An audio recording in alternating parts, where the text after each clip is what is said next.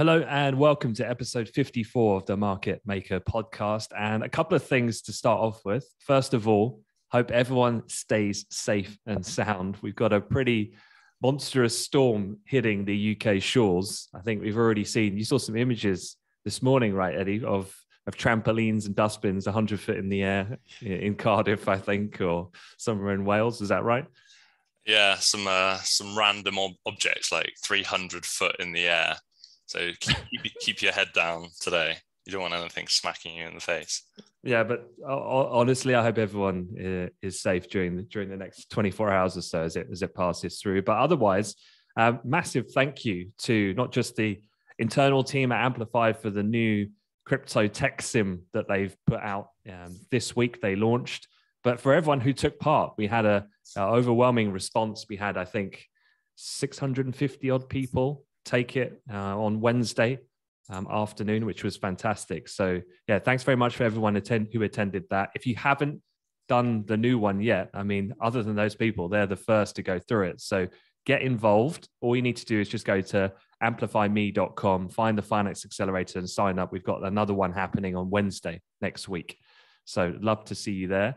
And then thirdly, you probably just heard there, the voice is not Piers Curran, it's Eddie Donmez. And so again, Piers is um, while we're here fending off, defending the shores from a storm, the biggest in 30 years, Piers is sunning himself uh, somewhere in, in southern Europe, I believe. He's always somewhere.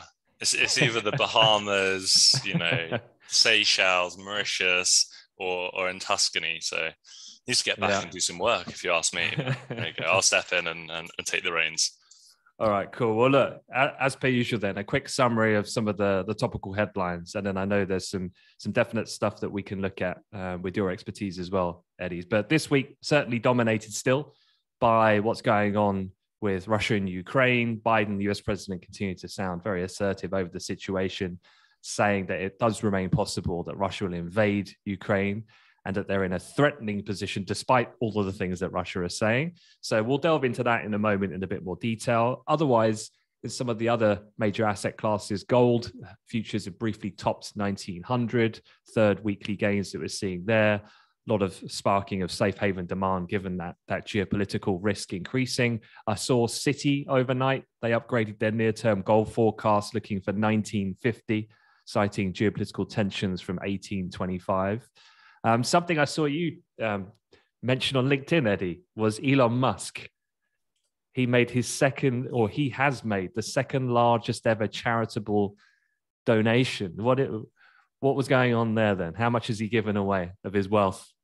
Yeah, I think look, what what my point was on LinkedIn um, was he gets so much stick, mainly from you and Piers, but mainly the Democrats, I would say, particularly Elizabeth Warren and Bernie Sanders for just for just being a billionaire.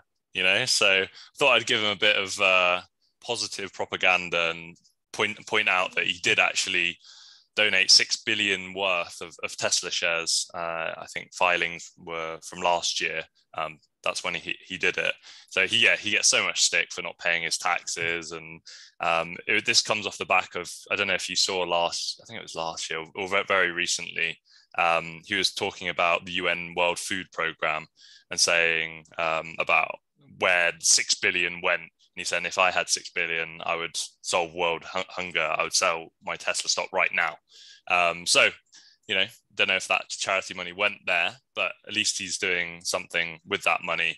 You know, of course, there's going to be people saying, yeah, it's a tax write off, but it's still yeah. but six billion is six billion, right? Exactly. For, for a good for a good cause. So yeah, I mean, I'm a hater. I hate Elon Musk. So I mean, he is writing off his tax, but that money is going to a good place. So yeah, I mean, I, I agree. So all good there. But he's he's landed himself a little bit of hot water overnight, I think it came out where he's tweeted. I think he was tweeting in a thread about crypto, and it included then some sort of satirical comparison between the Canadian PM Trudeau and Adolf Hitler. So, and then he's pulled the tweet. I think the has guy Elon Musk gone too far? Has he re- has he realised he's gone too far for the first time in history? But well, I mean, look, we're here talking about him, so I mean, here we are. but yeah, I mean, other than other than Elon, Um, a couple of other things that have been going on. UK inflation. Um, it's not. I don't think it's a big surprise when you see these numbers. I, I, know you pick up a normal. You know, if you're just a man in the street picking up the paper and you're like, inflation's thirty-year high. You're like, oh my goodness, I'm, I'm feeling the pinch. I was looking at the individual basket breakdown. There's some products in your normal, you know, your normal weekly shop, like margarine prices are like 40% or something. And you're like, okay, that doesn't that doesn't feel like a lot when you're paying like, I don't know, 20 pence, 30 pence. But when you do a whole shop for a week, and actually there's a meaningful difference where there's a 10 pound difference or something, that's a lot of money for a lot of people. And so the problem here, of course, is the direction of travel because the number came in at 5.5% in the UK, touch higher than expected. It's a 30 year high, but the Bank of England have already said it's going to go to around seven and a quarter percent in April. We've got a massive leap that's going to happen in energy bills, taxes are going to go up. So, yeah, this is, I guess, this is a lot of the the issue many central banks are facing, which is the threat now to what action follows that you're going to do in response to then what that might do to the implications for the economic performance thereafter. Um, and, and, certainly, I, I know with the Fed, well, with the Fed 50 basis points, I mean, here we are a week later from that red hot inflation reading. I think we saw 95% priced in for 50.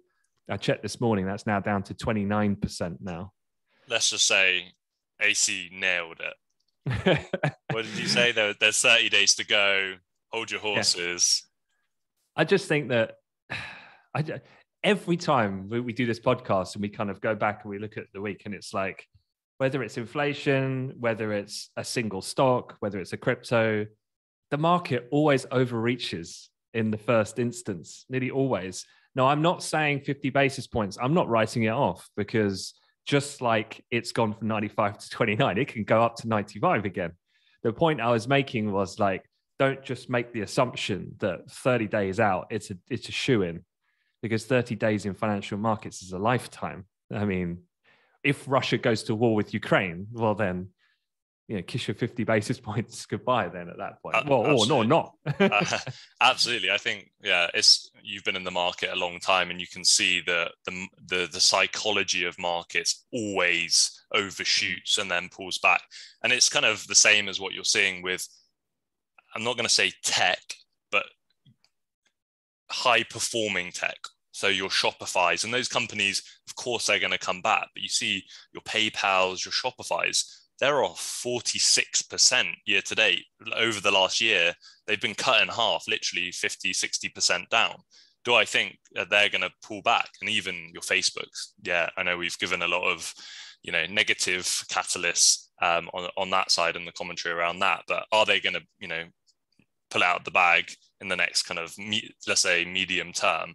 Of course, I believe they, they will. Sure, there's some low profitability tech, the high growth, more speculative names that some of these are just not going to make it. And they've been punished correctly, in my opinion, down 70, 80, 90%, talking about the kind of disruptive tech names. Just that's really like a venture uh, capital style investment, right? You're trying to pick one winner out of a basket of 100, and that's going to drive your returns. But some of those have been kind of punished correctly. But with your Shopify's and your, it's particularly Shopify, the fact that the market's gone so far you know, uh, down is, is speaking to exactly what you were talking about. Well, it sounds like you're you're you got a little buy the dip there on your Shopify holding. Well, people have you know they've been banging the drum about Facebook. Is it time? Is it time? But I think a Shopify that's got such a great um, tech story, but is also then linked to the global economy in terms of you know, arming the rebels, giving everyone an ability to have a shop front and things like that, plays into the secular trend of e-commerce that is not going away, obviously. Yeah. But the fear is, uh, and why the stocks were punished, is because the economy is now decelerating uh, in terms of the economic growth that I know we're going to talk about a lot yeah. later on. Well, taking that e-commerce type of element and taking a slightly, taking that on a slight tangent, but JP Morgan this week they came out with uh, a report. They're the first bank into the metaverse, opening a lounge in the blockchain-based Decentraland. And I saw, I just saw this like tiger roaming around this really bad-looking lounge with a with a picture of Jamie Dimon on the wall. So What what are they saying? I know they did issue a report, and actually, if you want to read the full extensive JP piece on the metaverse, which I highly recommend you do, it's really great analysis. Just jump on Eddie's LinkedIn account, Eddie Donmez, and he's just go to his post. You can access the full report. But Eddie, is there any highlights out of that report that you saw? Yeah, uh, crypto and the metaverse is of course uh, gaining traction and is gaining more mainstream attention. And of course, like we joked about, Jamie Dimon was, of course, criticizing Bitcoin and you know trashing it. Of course, he's long to the eyeballs, crypto and the metaverse. But yeah, that's another story. But yeah, it's really just uh, there was a great report um, published, and it's talking about the one trillion dollar metaverse opportunity. And I uh, really liked the the fact it was really just calling out hype versus reality what's realistic what's not because there's of course a lot of hot air in terms of what it could be um, and then the reality of it is is, is going to be of course very very different as we kind of move uh, five to 10 years, what that's going to look like. But there was some really good uh, stats and analysis. I'll let you read it on, in the show notes and will link uh, that post. But 54 billion is spent on virtual goods uh, every year uh, double the amounts uh, spent to, to buy music. So again, with these kind of game gaming M and A and Robloxes that of course got punished a little bit after earnings, there is a huge amount of you know demand to spend time virtually playing games, you know, transacting virtual economies and things like that. And what they term it as is metanomics, metanomic models, um, which is basically metaverse economic metanomic.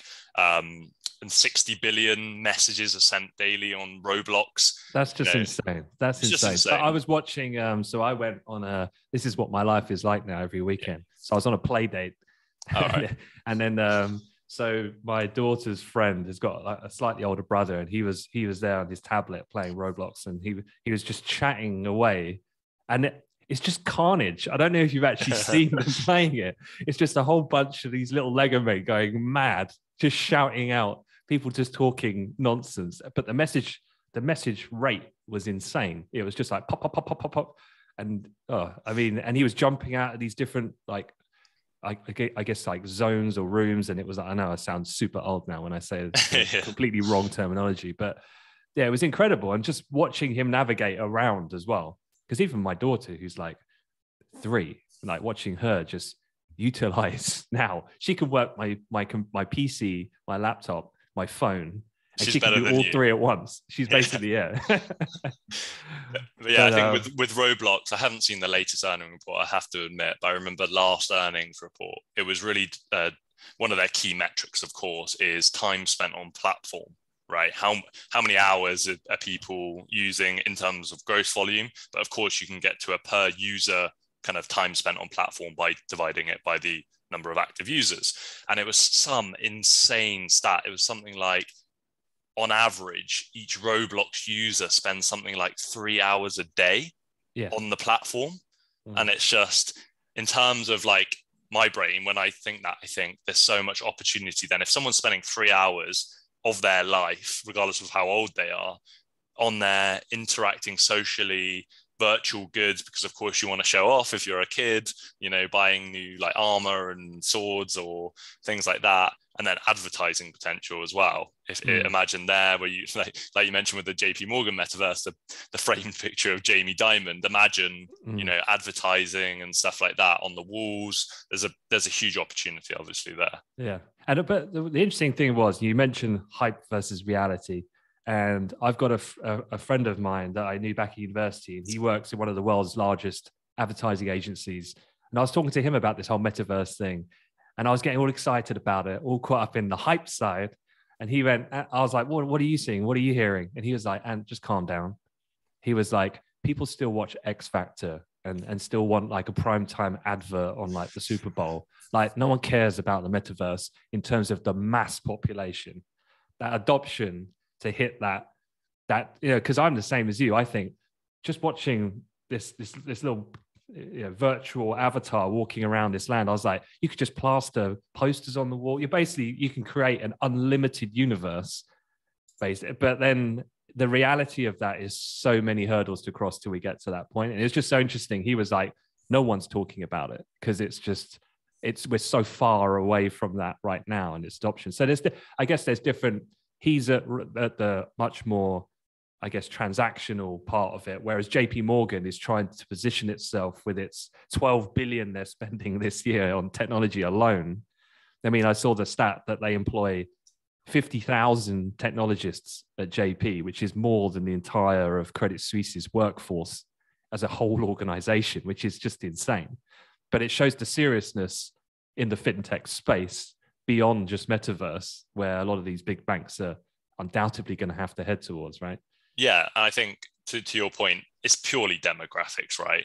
Like yeah. my mum is not going to be on yeah. Roblox, right? But there's plenty of you know Gen Z and you know yeah. even after that entering that that stage that are going to spend that time and you know like what we're doing at Amplify right we build simulations and experiences you know in quantitative trading and asset management and sales and trading you know eventually we will get to a, a space where we ha- will have a, a metaverse right and a room where um, you know, I'm, I'm, sharing all our business plans here, but uh, we'll have a room where people come virtually to interact and do simulations in augmented and virtual reality, right? Where it's such an immersive experience that basically um, emulates what it is to be on a trading floor or things like that. So it's definitely mm. the way the world's going, but it's definitely a massive demographic divide. I tell you what, fo- following that through, it'd be really interesting given the pivot that we saw when it went through um, floor based to screen based trading in the late 90s. When we go from uh, Web 2 to Web 3 based, let's say, trading, it'd be interesting to see whether you get a revert back to type of characteristics that, let's say, you do a simulate a trading floor in an old style where it's physical, but it's physical in an avatar form.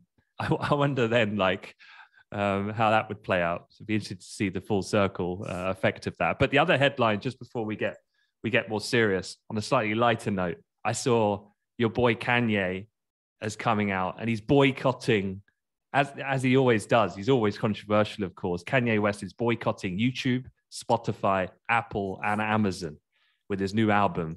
And he's basically going to have it exclusively only on his own, of course, platform called the STEM Player. Have you seen the STEM Player? I haven't seen it, but you know who it reminds me of? Who else is creating their own social media platform? It's Donald. Yeah, it's Donald. Exactly. They're going to team up. He's gonna he's gonna have the yeah he's gonna have the, the Twitter replica and then from his from the man Donald and then he's going to roll out the stem player. I checked out the stem player. Quite tempted to, to make a cheeky purchase. Oh, there. Oh really? It's like this little disc about the size of a CD, but it's about an inch thick it's kind of like a rubber shape with a with a with a cross on it. And basically, so so when I when I was at university, I used to I used to mix, and we used to have decks, and we used to have the, what we call a Korg pad. So anyone who plays piano or anything like that, so it's electronic screen that you roll your finger over as a synthesizer to make different sounds. So he's he's created this disc player that's got that you can basically roll your thumb over and it isolates single channels of the of the music that you're listening to so okay. you can live mix your own mu- his music basically so it's a it's a it's a walkman player with a with a screen is that what you're saying is it, it, it it's got an ability to um when uh, it's got ability to add your stamp on someone's music because you right. yourself can in, uh, uh, integrate your own flavor onto it and, and ah, like okay I sound like a salesman for. yeah. I'll take five. But yeah, you can basically control vocals, drums, bass, isolate right. parts of the track and stuff like that. So if you're into DJing, it's like a live uh, VJ kind of thing, like visual thing, but you're just doing the audio. It's quite cool. Two hundred bucks. It's a it's a steal. Anyone who signs yeah. up, I'll give you fifty bucks. yeah, yeah. No, but um, my affiliate link in the bio. no, but um, all right. So look, let's um Let's start then with a bit of a, an update of where we're at year to date. You know, we're kind of several weeks in now, and we've seen the most volatile January in a long time. Uh, and it still continues to be pretty volatile given the Russian situation as well. So, what's that looking like in US equities and on a sector basis as well at the minute? Yeah, I mean, so I'm looking at um, a heat map essentially for for the for the viewers uh, or the listeners on on Spotify or Apple Music. Um, so uh, of course, we're seeing a lot of volatility because of this whole inflation picture, and then the Fed, you know, just come out of really nowhere with a or the market's pricing a potential six to seven hikes uh, for this year. And as you would imagine, as we've just discussed, those really speculative tech names have taken a battering, um, you know, with the with the higher discount rates and things like that, and real a rotation uh, into value really. And what I'm talking about there is your defensives, industrials, energies, and things like that. And that's really painted uh, the picture of um, the heat map of what I'm looking at. So you can see the real stark divergence um, looking at the large cap names now. So Tesla down 17%, Of course, that's its own, you know, roller coaster in itself. But then you've got the contrast of, of energy, which is the, the brightest green on, on my screen right now. So Exxon up 28%, and it had a really good uh, end to the year as well. Chevron at 14%. Uh, ConocoPhillips up 26%. And what was, I think, even more surprising, I would say, for me, is that Google down nearly 9% year to date after definitely the best earnings um, report out of all the big cap tech stocks. You know, if I was to pick one, much like like Piers says, Google is the most resilient, I think, um, in terms of those big uh, cap tech. But and they had the best report, but down nine percent. You know, actually, Apple's only down uh, five uh, percent this year. So you can see how the market is so sensitive to this current situation, which we'll, we'll get onto, is higher inflation, higher rates. And then now this whole Russia Ukraine conflict that I know we'll talk about later, um, it's just put the market a little bit on edge. And you can see this reflected in the, the volatility index, the fear gauge essentially, um, which is up 24% year to date. So the VIX and volatility does remain uh, elevated. Uh, as uh, I assume portfolio managers are buying protection, um, you know, not you know, let, us say the Fed then pulls back on those rate hikes and it's maybe three, which is I, I would say my base case. Um, tech, big tech uh, cap tech that is profitable, that does power the market. You know, you you don't want to rotate completely out of those because that's really the best. You know, uh, I, I for the next near in the short term and near term are going to be the best performers. But you want to buy some protection. You also want to buy some value stocks. And there was an interesting graphic coming out of the um, I think it was the Bank of America Fund Manager Survey.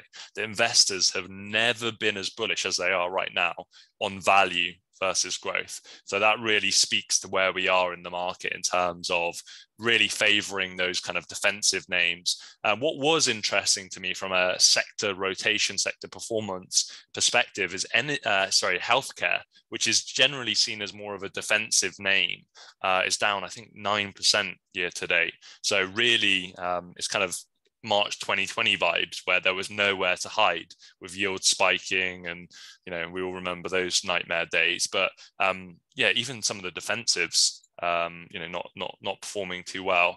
And then when you've got the fear of this kind of recession um, you know really being elevated at the moment in the second half of the year that then really takes the the steam out of the, those cyclical names that of course benefit when growth and economic growth is is high or accelerating it's funny just listening to you talking about the healthcare being down, even though the defensive, then talking about really high inflation. Both of those, you in the conversations, what two years ago, you'd be going, also, how high is Bitcoin? How, how well is crypto doing right now? Because before it was always that's the flight to quality, that's the inflation hedge. And here we are, Bitcoin still sat at that 40K for the so moment. Yeah. So for, for me, Bitcoin has never been an inflation hedge, right? It's mm. a risk on asset period. Liqu- when liquidity is flowing, financial conditions are loose, money will flow there, right? Yeah. It's it's a hedge against uh, basically money printing essentially so when the when the fed and you know there's more debt there's money being printed it's a hedge against that monetary basically currency debasement in my opinion but right now it's very clear that we're in a risk off phase right? Uh, there's fear in the market, there's volatility, and of course you're going to pivot out of you know those high beta names, Bitcoin, your your high uh, let's say uh, disruptive names like ARK. So it's never been, I, in my opinion, an inflation hedge. How is uh, Cathie? What's, when was the last time you spoke to her? well, we had a Zoom call uh, in January. It wasn't looking too good for her, but no, no. I think she was on CNBC yesterday, and she just had another clanger, basically. So she was on CNBC getting interviewed, and obviously ARK holds Zoom as a as a stock, right? And something that popped up on her screen was your time is running running out, which means that uh, she was on the free version. so it was just that like actually happened. It actually happened. The the come came up um, and it said, "Look, you're running out of time," and so it shows that. Well, of course, on the computer she was on, whatever that is, she yeah. wasn't actually paying for for Zoom, which was just another one in that kind of just she's having a, a, a, terrible time. Let's just put it put it that way. But I mean, it, if you're investing in her ETF, I mean, surely that is a long-term speculative proportional minority makeup of any of your holdings because of the nature of what it is in an innovation it, fund. Well, it should be yeah. basically in your. I mean, so what? So so why why I don't get why people are so like upset or so like frantic about it it's like well that's just the nature of what you're investing in and so it yeah. went up a huge amount initially and now it's come down a lot so, yeah, such so is th- that type of type of investment i think in terms of where retail were positioned of course over the last five years she's had amazing. Performance so let's give her massive credit in terms of her inception the ark funds have done incredibly well um, so that's where retail have been making a lot of money when financial conditions are loose. The, uh, after the COVID crash, the the stimmy checks, low monetary policy, low interest rates, um, you know, times were good. So everyone's been positioned in in those kind of funds. Bitcoin, I bucket into that. The high beta names making a ton of money, and of course, if you're generally if you're investing in those, you've never seen them go down or you've seen them go down very little. So in this mm. kind of new new regime, if you like, of higher inflation and potential higher interest rates, then of course there's going to be volatility. Yeah. Just two other stock stories that I saw. Amazon have reached a worldwide deal with Visa, uh, accepting payments from their credit cards through its stores, and that was going on for months and months. And then the other one was about Walmart earnings. I saw exceeded expectations. Uh, any thoughts on that, just given what you were saying about the sector movements that we're seeing at the moment, given yeah, the nature not, of their business? Yeah, not too much. I think Visa, um, in terms of you know, they got they got pulled by Amazon, isn't that right? They yeah, got have, yeah. The, in the UK. It was as a kind of trial, and everyone was calling for the worst, saying they're going to pull Visa mm. kind of payment processing all over the world, and that would obviously be a massive hit to to someone like like Visa. But they're they're they're up for four percent um, year to date. So they're slightly more resilient as transactions are, are, going on. But then again, if you're looking forward into the second half of the year, recession risk kind of um, increasing in likelihood and a not so soft landing from the Fed, then you're going to think, mm, actually, um, you know, you're not too not too keen on that. Um, in terms of Walmart as well, it's those consumer staples that, uh, of course, as uh, prices go up in terms of supermarkets, people are not, not going to not get margarine or they're not going to um, not buy any fruit and avocados and things like that. They're going to keep purchasing them. So those defensive names uh, definitely uh, outperforming those kind of more more uh, high beta names. Okay, cool. Well, look, let's let's delve into the the Russia Ukraine side of things, and I, I guess I can kick it off with we're recording this on on Friday the 18th. So, depending on when you listen to this, I'm sure the situation may have evolved. But as it stands at the end of this week, uh, the Russian Foreign Minister Lavrov is going to meet with US Secretary of State Antony Blinken in Europe next week. So, the week coming, Russia told the US in its official response to security proposals from Washington that it has no plans to attack. Uh, they've they've kind of stuck to that all week. Um, regardless, Biden is going to speak to transatlantic leaders today about the Russian troop buildup. The Russian defense minister is going to be speaking with the US counterpart as well today. So, one thing this does mean is there's going to be a heck of a lot of headlines flying around. And I think that's definitely one thing if you are not used to watching short term markets, so intraday, you could easily get caught the wrong side of this. So, a couple of kind of ground rules for anyone who does look at short-term markets is always think about the source of where that information is coming from because having seen this initial conflict in 2014 and other conflicts over the years definitely dependent on the origination of that piece of news the same event can be reported completely differently so in this case you know IFX or Russian news agency, or if it's a Ukrainian, or if it's American or Western European. You've just got to be conscious of the fact of not overcommitting and jumping on one piece of information without then seeing it um, line up with other other credible sources. So trying to trade the intraday noise in a situation like this, I'd say, unless you have access to the fastest news aggregation software or individuals who will service that job for you, which is only really for professional investors. As a retail trader trying to trade some of these headlines, I think forget it because you're going to get smoked in the wrong direction. Um, taking a positional play, thinking, you know, this is going to get worse. My belief is because of XYZ. Therefore, like you said, I want to pick up some uh, exposed kind of hedging of that risk by the VIX or via some other play, sure, that makes some sense. But trying to trade outright to catch these moves, forget it.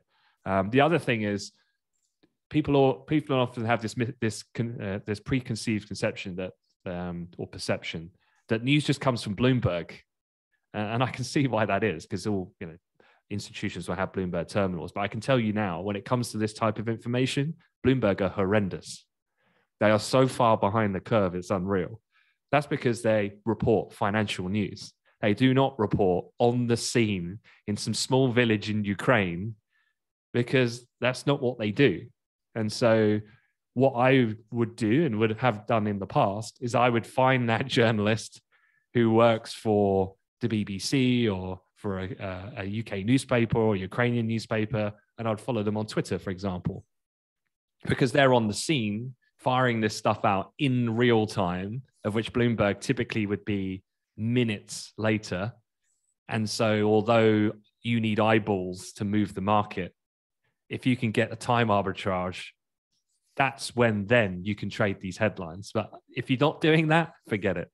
So, in terms of, so that's obviously on the short term basis. In terms of a like actual scenario happening and the incentives behind it, how much did you value in your time listening to like RT Russia news or you know basically hmm. foreign news agency because if, if you listen to Al Jazeera, you get yeah. a different story. If you're listening to RT News, you're getting a different story. If you listen to CNBC, you're obviously getting the, the American view. How much in your career did you value in terms of the actual from the Russian side? What is the incentive system? What are they actually going to do? What do they really want? How much did you value that? Yeah, I I think a great deal. Um, I know it sounds like it would be exhausting to follow all those kind of channels uh, of information, but a big part of I think what my skill has become is to be able to determine the strategy and how then governments like Korea or China or Russia use propaganda to flex on their optics to service what it is as their end objective. And so in order for me to determine how serious or not I believe, say, Russia is, I have to see what Russian media is reporting because that's coming from the state. And so that gives me a degree of how they're lining up uh, and whether or not they're going to make um, a strategic move in this in this instance. Then I kind of play that off and I think about well, why is Biden being like he is? I mean, all week Biden has been banging the drum. I mean, the last shot I saw yesterday was a classic Trump Trump shot. He's taken one out the playbook. This is when they have the chopper in the background, and the chopper's going really loud. Yeah. And they go, President, President, what do you think about Ukraine, Russia? and he goes, I think that, and it's like his hair's blowing, the chopper's going. It's a classic. Like he's being flown in from right. front line. But that is curated like that's not like a impromptu shot. That is done on purpose. And even though that has nothing to do with him having military expertise or anything like that, this is all part of how this works. And and so look, to give you an idea, the reports that we've had this morning is that Russia is they're going to they're going to conduct strategic drills on Saturday. Putin, according to Russian press, so again, this is optics. He's going to oversee it personally. I mean, in your head now, visually, you've just got this picture of him sat there, you know, with his shirt off, overseeing these military drills in, in the snow on a bear. but the point is, is that if you think about um, what has been happening, and I've got a few points that to cover on this about my overall thoughts and what might happen here. But you know, think about North Korea; it's the same we see intensification of these uh, provocative kind of steps, firing ballistic missiles. These tests at the weekend, you know, the Western press in Europe and the UK and the US, they really latch on to the idea that it's going to be um, ballistic missiles. That they really hype it up because that helps their own domestic agenda to then garner support for them being more forceful in the actions that they take. And it ticks the box for Biden on his ability to reinsert control on the foreign affairs, where he's totally blew, blew it with and Afghanistan. Distract. and distract right. away from inflation. And that's a massive thing, right? So you're absolutely right. For me, the biggest um, pivot he needs to make, as far as the electorate is concerned, is they are going to feel some serious pain. Now, I think people are people in markets are fairly focused on the fact that US growth, US jobs, they've all surprised to the upside. Um, and it's been like, oh, okay, so that means that the economy underlying all of this is strong. Omicron's over. It can survive these rate hikes that are pending. But actually, I, I delivered a session um, at UCL, University in London, this week. And I was talking to their lead professor um, of that program. And he was talking about the February preliminary University of Michigan sentiment report. So that's basically a report where they telephone um, thousands of different consumers and they ask them about how do they feel about economic conditions at the moment and the future. And the impact of higher inflation on personal finances was spontaneously cited by one third of all consumers, with nearly a half of all consumers in the US expecting declines in their inflation adjusted incomes during the year ahead, which will become a reality. We're seeing that in the UK saving rates are getting slammed at the moment.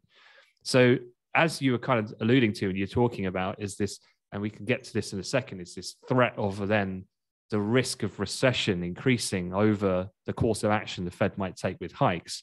The consumer at the moment, if they lose that confidence to spend, or is this what the, then the Fed actually wants to engineer to cool demand to control inflation? Well, we can discuss that in a moment. But these were all these are all reasons I think you know he's absolutely right why Biden has to make a big deal of Russia because at home there's some really bad things happening with inflation, and so it's Russia now. If you think about four six weeks ago, do you remember it was Saudi Arabia?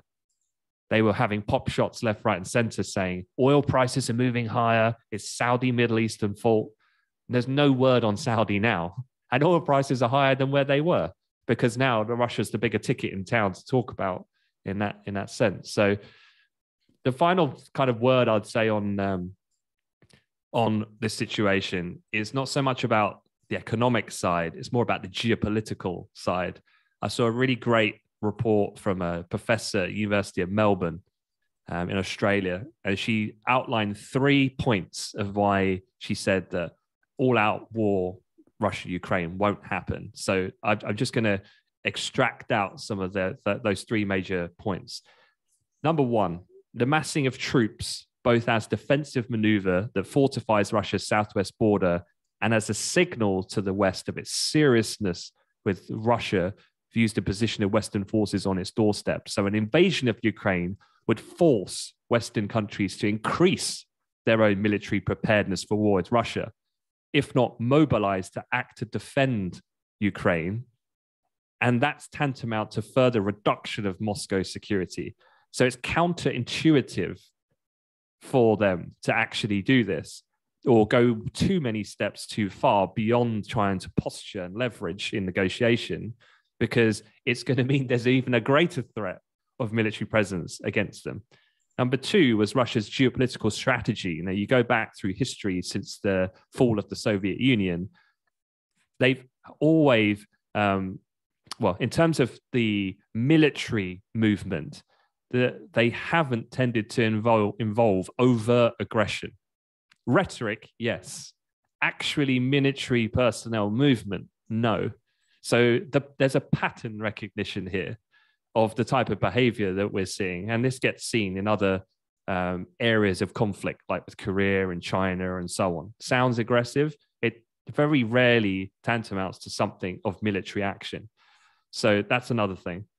Um, Russian foreign interventions have been um, based on pragmatic consideration of proportionate force, which is necessary to meet its interests. That's very important because it gets, um, I guess, pigeonholed by Western media is in they're you know they're very out of control. It's on a knife edge. It could happen any moment. It, it doesn't. This is we're talking of war here. These things don't happen too much like that these days. However, we will talk about there's obvious risks to that that scenario. And then thirdly, if the seizure of Ukrainian territory was of significant Russia interest, think about it. That opportunity was in 2014. That's not now because now it's harder. and now there's more repercussion because there's more involvement globally in this matter. If they were going to do it, they would have done it. And now's not the time. And so, with all of this, of course, there's been other reports about okay, sanctions. Putin can survive those sanctions because he's making more money than ever because the price of oil at the moment. So, great. The summary I would say of this um, is Russia uses its presence similar to that of, say, in Iran uses its nuclear program, if you think about it, as a means of extraction of concessions from the Western world. I see it exactly like that in this instance. So it threatens, but it will never fully act because to do so would mean an exchange of leverage for punishment. And they don't want to do that. It's self inflicting. And so this is just a very serious game of poker that's going on, is what I'm saying. But welcome to the world of geopolitics. This is what it's all about.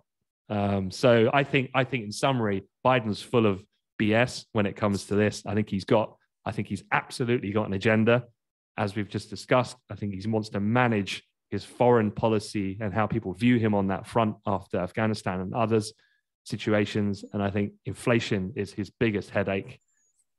And I just think, I think the the winner here is is Vladimir Putin, right now. I, I agree with all of that. I, I, I think if you listen to the Western media, Putin is a thug. You know, he's a madman. He's not.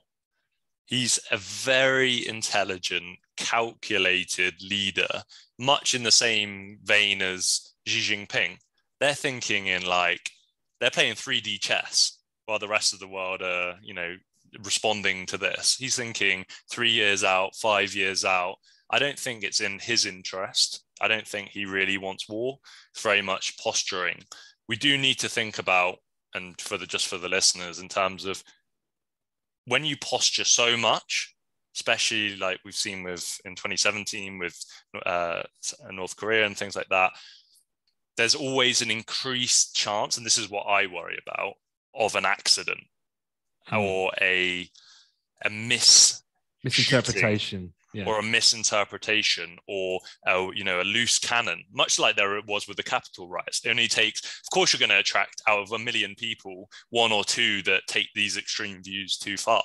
So when you think about ukraine you've much like the other kind of eastern european states like uh, romania and moldova is you have russian ukrainians and you have more European Ukrainians, those that you know don't want kind of Russian interference.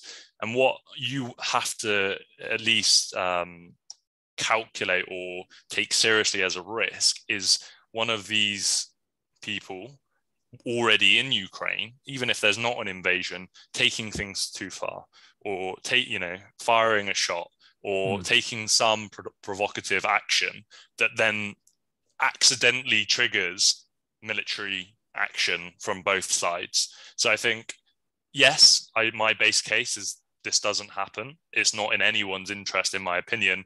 And if I was Vladimir Putin, I'd be doing exactly the same thing. Do I want NATO in my in my backyard, getting closer and closer to my territory? Would I always like to say would America allow Russia to take Canada, right? Or to have an increased military presence in Canada or Cuba? Of course they wouldn't, right? They would be, you know, in the exact same defensive position. So, yes, my base case is this doesn't spill over, but accidents can happen. Um, but I think what Ant talked about in terms of even myself, you know, listening to all these headlines fire out, you know, they're invading, they're not invading. The one thing that made me laugh was like, yes, an invasion is expected on February the 16th. in what world would a military invasion be be well known, right? The whole point is it's meant to be a surprise, or it's meant to be a you know a big a big move to catch the opposition, you know, off guard. It wouldn't be broadcasted to the whole world, so they know exactly when they're, they're invading. Uh, James Bond is not actually didn't actually die. yeah, he's in Russia right now. Yeah. He got the date out, but yeah, I mean that that type of thing. I mean the, the amount of comments that have come out of the the US where they've made claims and then had no supporting evidence to back up then these claims, which is what makes it so transparent to me of what they're they're they're trying to do. But look, I mean, I won't say any more on, on that matter. But um, I know just to finish, Eddie, you wanted to, to touch upon just generally, I guess, what we've t- talked about with equities, the risks, the 50 basis points, um, lots of yield movement that we've been talking about in recent podcasts. But this idea then about Fed strategy and managing 2022, I guess. So, what are your thoughts on um, the yield curve inversion and risks of recession, good, bad, and how can they engineer controlling inflation through a, a rate hiking kind of sequence? They're in a real tough spot to put it lightly. They've got one big problem at the moment, uh, and that's inflation. And traditionally, there's kind of two ways that they can kind of slow inflation by hiking short term rates or by forcing long term interest rates higher. And historically, the Fed really have used rate hikes to engineer recessions, right? But actually, soft recessions in the sense of just to take some kind of heat off the economy, um, it's, it's, it's termed opportunistic disinflation right so it's to keep generate that slack in the economy to keep inflation in check whilst basically managing their, their dual mandate essentially but the point is every fed tighten, tightening cycle has ended in a crisis and the probability now of a fed mistake or a policy error i believe is, is highly elevated um, just in terms of where the market's priced you, even you see this now in uh, mortgage rates, for example. The market's moving, and the Fed hasn't even moved yet. So I believe they're they're highly behind the curve. They should have gone. Um, I, I, sent you a, a, text. I don't know if you remember in the last policy meeting with uh, some expletive language about Powell, saying he should have gone. Basically, um, in in kind of Q4. Now they're behind the curve. The market's moving right and pricing in six, seven hikes getting ahead of itself. Mortgage rates are, are kind of um, they're through 4% now if you're looking at the 30 year mortgage rate in, in the US. You've got high inflation now coming again from if this Russia situation does uh, you know evolve. You've then got more oil price uh, inflation. You've got um, and just remember all those Eastern European countries they pr- produce a lot of fertilizer as well. So it, with everything else, you've still got supply chain issues that are slowing in terms of their severity and they are improving. I saw a really interesting chart. Uh, showing that, but they're still very, very ele- elevated. If you throw higher fertilizer costs into that, um, palladium and all the kind of um, inputs that, or exports from Russia, inputs for uh, all of the Western world, you've got then higher food prices into economies and households that have, let's let's be clear, have been in very strong state after the stimmy checks, um, the work from home, people still getting paid and things like that. However, the purse strings are tightening, oil prices, the price to fill up your car are increasing, the food in price prices are increasing. You've got um, a lack of supply in terms of labor. So this is where the the wage pressure is coming from, which again is not a great sign for the Federal Reserve. So they've got a lot of things that are going against them right now. And they don't know what to do. I believe that they don't know what to do at Mar- in March. Do they go 50? Do they go 25? Do they go 50 and wait? I don't think they actually know what they're going to do in March. And that's probably where the market pricing that was 100% priced um, for, Mar- for March 50 is now gone down to a 30, 40% probability because the market's now going, actually, I, we don't know what the Fed are going to do. They don't, because they don't know what they're going to do. Um, but they're not in a you know uh, a positive scenario. One interesting thing I did see from Pozsar, who is a Credit Suisse strategist, very well known, has the ear of the Fed, is basically that the Fed may actually want to move down the Powell put and allow a bit of volatility. And he actually termed it as uh, the, the Volcker, but vol standing for volatility, and letting equities and Bitcoin and all this speculative excess come out of the market because it may actually then force some more people into the labor um, labor force to actually ease those wage inflation um, that we've seen. So has the Powell put moved down a little bit, maybe to 3,800 or you know uh, a little bit lower? you know we'll, we'll see but they're not in a in a great situation at the moment. Um that, that's my my take on it. Yeah and then what it was it goldman sachs a few days back they're starting to get a little bit more cautious in their their outlook. Yeah. Alongside some other us banks and ms is always yeah, so they, they, they, cut their their S and P target from five thousand one hundred to forty nine hundred based on lower valuations and uh, and higher inflation. They've actually again projected out a, a recession downside case all the way at thirty six hundred. Um, and of course, the big problem comes when you have a central bank tightening into a slowing economy. Pair this with high inflation, lower consumer confidence. Consumer confidence is at an 11 year low right now. This could materially hit earnings. And this is when companies will suffer from lower demand from the economy slowing, plus an inability to raise prices from that lower consumer confidence. So um, that's the kind of picture at the moment. So valuations coming down.